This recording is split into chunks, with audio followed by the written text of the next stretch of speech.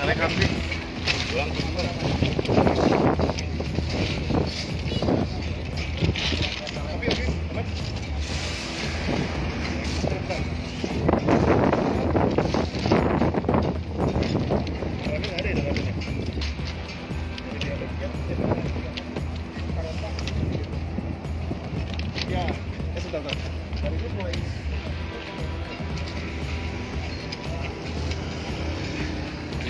Di mana pun Anda berada, kini kami berada di stasiun kereta api cepat Tegaluar di mana uh, proses uji coba mulai dilakukan pada tanggal 15 dan kini para pekerja sedang uh, memperbaiki sisa-sisa pekerjaan yang belum selesai.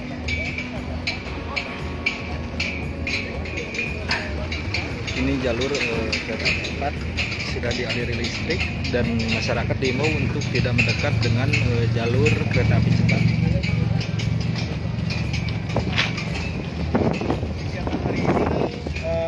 Kami memastikan bahwa personil-personil pengamanan yang diploting sesuai dengan prediksi kerawanan kami tempati dan saat ini ada 310 personil eh, yang terdiri dari 38 BRIMOB dan sisanya eh, dari personil Polresta Bandung.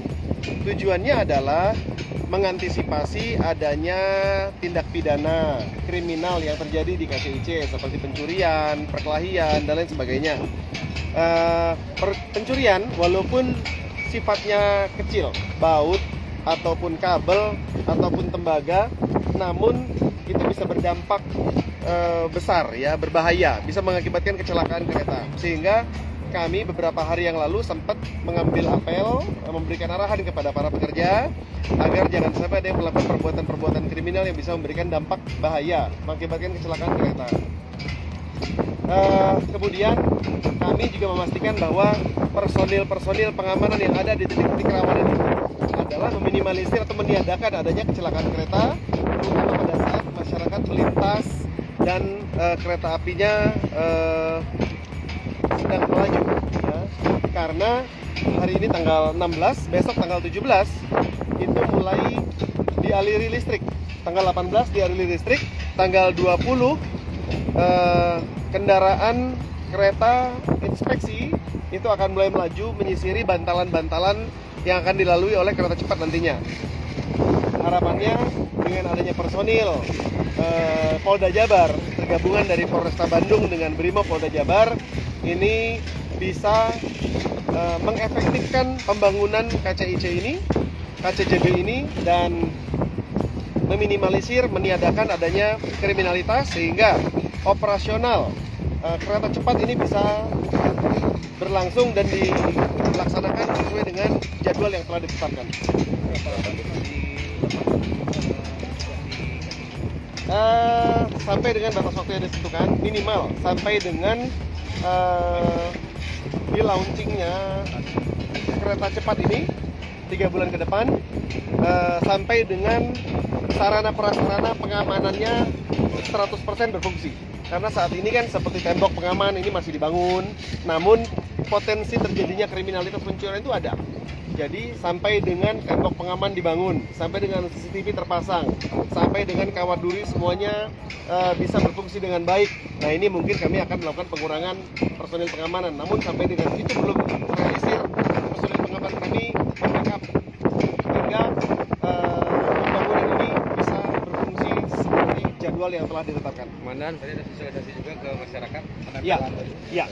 Uh, sambil kami mengecek personil pengamanan, kami juga melakukan sosialisasi. Walaupun Babin Kamtipmas kami juga terus melakukan sosialisasi, menempelkan himbauan-himbauan edukasi kepada warga masyarakat tentang tidak boleh melakukan pencurian, kemudian jangan manjat tiang-tiang uh, listrik, jangan berdekatan dengan uh, sarana prasarana yang menghantar listrik, kemudian jangan juga menyeberang uh, rel kereta tanpa melihat situasi terlebih dahulu dan lain sebagainya. Ya, jangan main di bawah kereta, khawatirnya kereta melaju nanti bisa berakibat fatal kepada uh, masyarakat sekitar dan lain sebagainya.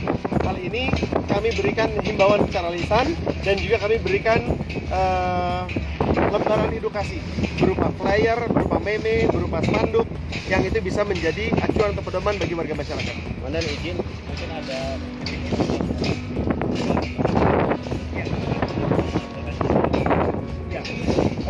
kami melihat ada 26 titik, titik. Kami melihat ada 26 titik yang ada di Kabupaten Bandung. Uh, namun demikian itu masih fleksibel. Apakah perlu ditambahkan apa dikurangi? Melihat hasil koordinasi kami dengan uh, pihak KCIC.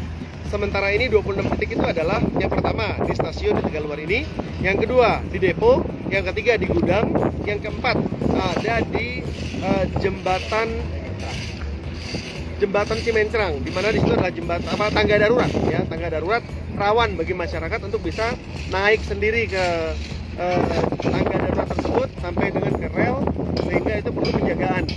Dan juga tempat-tempat di mana interaksi antara warga masyarakat dengan salah rel ini belum ada batasan tembok ataupun uh, kawat duri sehingga sangat riskan bagi warga masyarakat untuk bisa uh, berlalu lalang dengan adanya penjagaan. Semoga ini bisa uh, menjadi warning kepada warga masyarakat agar uh, tidak mudah melintas atau uh, bermain-main di bantalan rel kereta yang akan menjadi perlintasan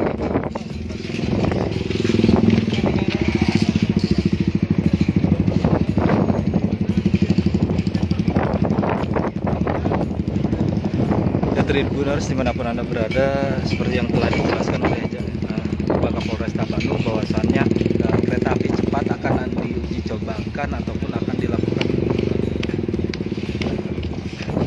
uji coba kereta inspeksi pada tanggal 18 dan masyarakat yang berada di sekitar rel ataupun sekitar jalur dihimbau untuk tidak mendekati karena terdapat arus listrik dan belum adanya dengan belum adanya penghalang benteng ataupun kawat berduri maka jajaran kepolisian juga diturunkan untuk melakukan penjagaan supaya tidak dilintasi ataupun diakses oleh masyarakat secara langsung karena khawatir ataupun di, karena dikhawatirkan akan berdampak ataupun terjadi hal yang tidak diinginkan. Selain itu juga jajaran Polresta Bandung beserta Polda Jabar melakukan pengamanan.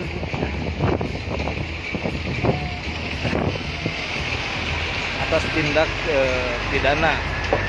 Untuk mencegah tindak pidana ter yang terjadi karena dengan eh, mengambil hal yang dianggap kecil bisa berdampak ataupun mengakibatkan hal yang fatal. Baik itu pada kereta yang berjalan ataupun pada lintasan yang digunakan untuk kereta api berjalan seperti halnya baut ataupun kabel dan lain sebagainya. Cukup sekian eh, Tribuners di mana pun anda berada dan kini kondisi di stasiun Tegaluar para pekerja masih terlihat bekerja memperbaiki rel dan kelistrikannya dan lain sebagainya. Mohon maaf apabila ada kesalahan. Wassalamualaikum warahmatullahi wabarakatuh. Jangan lupa like, subscribe, dan share ya.